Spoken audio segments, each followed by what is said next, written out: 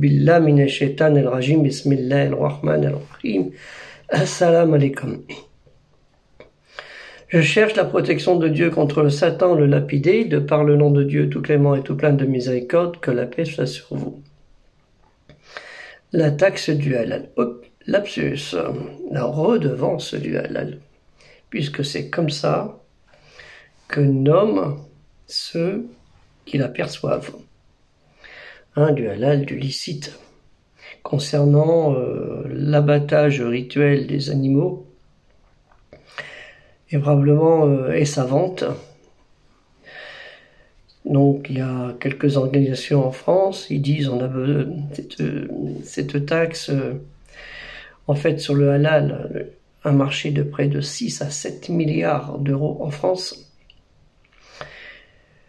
Une taxe euh, doit pas être négligeable vu le montant et qui rapporte beaucoup d'argent et disent à paye les certificateurs, la formation des certificateurs, les contrôles et autres. Euh, si c'est 1 euro sur 7 milliards d'euros, c'est quand même beaucoup de millions d'euros. Et je pense pas que ce soit 1%. Moi, je me demande pourquoi cette taxe elle ne sert pas dans le halal, dans le licite, à rentrer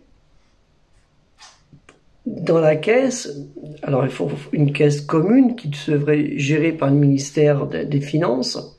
Ça, ça peut pas, ce sera pas difficile à faire, mais à question d'avoir la volonté. Nos politiques n'ont pas trop envie de toucher à ça. Attention, danger, danger électoral.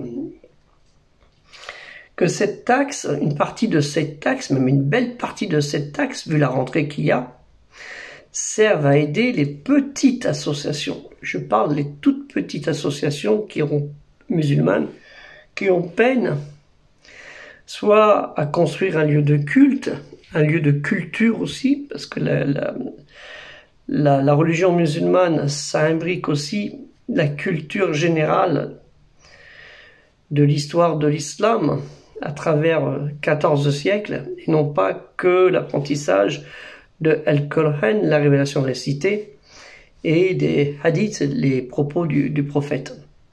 C'est beaucoup plus vaste que ça. Malheureusement, c'est pas le cas. La culture est mise de côté et le culte est mis en priorité. Je dis pas que c'est mal, au contraire, c'est bien, mais euh, si on prend un pour refuser l'autre, euh, ben on peut avoir quelques soucis après pour la compréhension des textes de la lecture de Al-Qur'an, de la révélation de cité. Hein, on ne dit pas le Coran, puisque le Coran c'est le son phonétique de Al-Qur'an. Donc déjà, vous voyez à quoi ça sert la culture.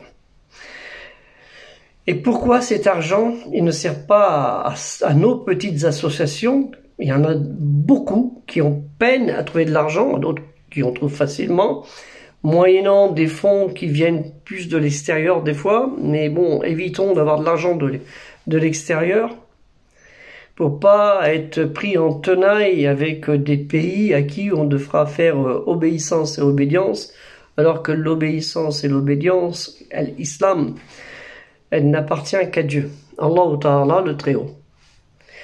Voilà où je voulais en venir. Moi, je voudrais avoir votre avis concernant cette taxe. Est-ce normal qu'elle ne rentre pas dans une caisse commune gérée par le ministère de l'Intérieur qui la donnerait avec euh, naturellement des dossiers, il euh, faut que ça des dossiers bien remplis. Hein si c'est pour faire des associations euh, culturelles qui en fait que c'est juste que de la lecture du Coran, Al-Qur'an, où tu apprends euh, par cœur Bismillah ar-Rahman ar-Rahim, walhamdulillah rabbil alamin, oui, toutes les variantes. Donc, euh, je pense pas que ce soit, euh, ce soit la bonne chose non plus. Donc, je vais avoir votre avis là-dessus, parce qu'il est très important.